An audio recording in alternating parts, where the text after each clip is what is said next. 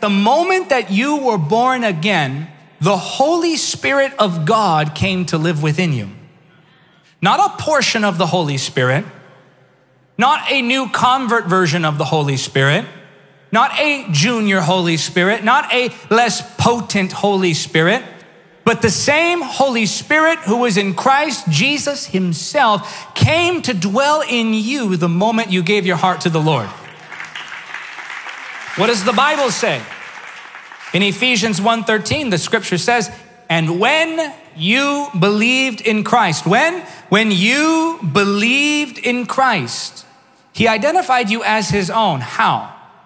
By giving you the Holy Spirit whom he promised long ago." When did I receive the Holy Spirit? When I believed in Christ. So the moment you repented of your sins, the moment you turned to Jesus, the Holy Spirit of God came to dwell in you. This is why you're so frustrated. This is why you're seeking and not finding. Because you're looking for something as if you don't have it. You're looking outwardly instead of inwardly. You're looking at experience to validate a truth that you should already know by faith. I never had that shaking of the electricity on my body. I never felt the heat. I never broke down and cried. I never fell over. I haven't spoken in tongues yet. What does the Bible say? When you believed in Christ, He identified you as His own by giving you the Holy Spirit.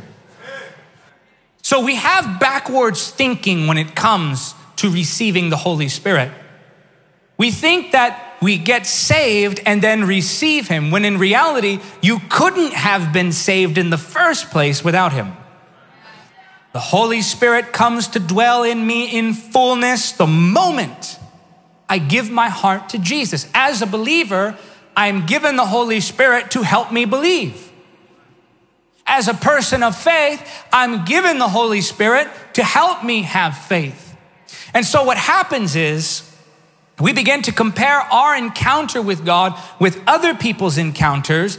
And instead of looking at the scripture, we look at the experiences of others. And then the enemy, because we're not aware of the truth, begins to plant doubt. And we feel that God is neglecting us. We feel that God is ignoring our prayers. We become frustrated because we feel like no matter how much I ask Him for the Holy Spirit, He doesn't give Him to me. The reason you're not getting the Holy Spirit when you pray that prayer is because you already received the Holy Spirit when you believed.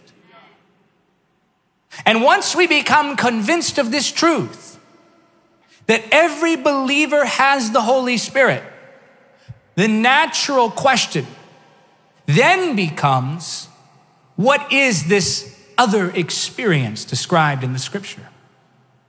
What is this something more that believers talk about? What is this extra touch of power that I've heard so much about? Here's a question for you.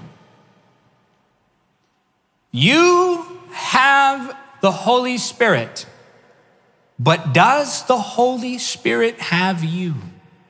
The Holy Spirit is all in. Are you? He's fully committed. He dwells inside of you. So you have the Holy Spirit, but it's in the surrendering to the Holy Spirit that what we have in us manifests around us. You already have your spiritual gift. You already have an anointing from on high. That's what 1 John 2 27 says. You already have the ability to understand the word. You already have your preaching gift. You already have boldness for evangelism. You already know how to pray.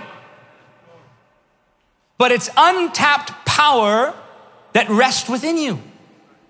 And the only way you tap into that power is by surrendering to the Holy Spirit in greater depths. For every level of surrender, there is a level of power that comes. Thank you for watching Encounter TV. Don't forget to subscribe and click the notification bell. Also, help us spread the gospel of Jesus Christ in the power of the Holy Spirit. Make a one time donation or become a monthly supporter by clicking on the donate link now.